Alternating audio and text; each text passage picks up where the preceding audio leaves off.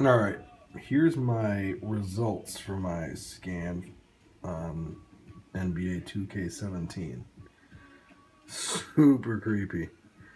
At least it's rated above average.